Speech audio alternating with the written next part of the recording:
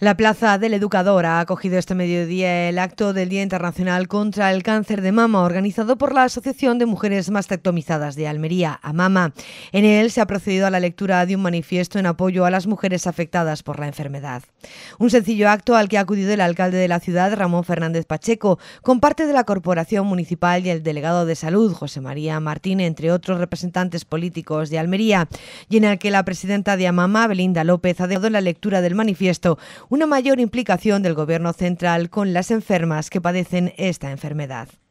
Señalamos nuestro interés de formar en el tiempo y en, un ámbito sanitario una cultura compartida de la calidad y del prestigio de nuestra sanidad pública.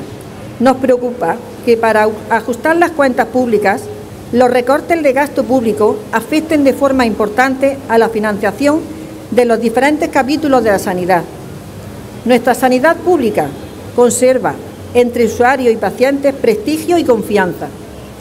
Si esos valores se deterioran, asistiremos a la crisis de un desarrollo básico como es el derecho a la salud. Por su parte, el alcalde ha expresado en nombre de toda la ciudad su agradecimiento por la gran labor que realizan los miembros de AMAMA, quienes conciencian día a día a la sociedad sobre la importancia de la detección precoz y la fortaleza frente al cáncer. Amama se encarga de enseñarnos eh, día tras día que la palabra cáncer nunca significa rendición, la palabra cáncer significa lucha y significa plantar cara a una enfermedad que se puede vencer. La detección es clave para ellos y ellos también hacen una labor muy importante concienciando a todas las mujeres almerienses para que se hagan pruebas y para que no dejen pasar el tiempo para luchar contra ella.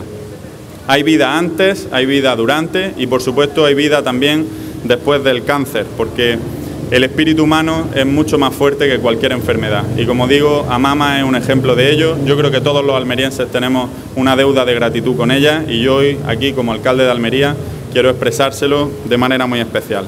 Un día, el 19 de octubre, en el que se visibiliza y se apoya a las enfermas de cáncer, aunque no debemos olvidar que su lucha es constante y en ella nos muestran día a día que el cáncer ya no es sinónimo de muerte.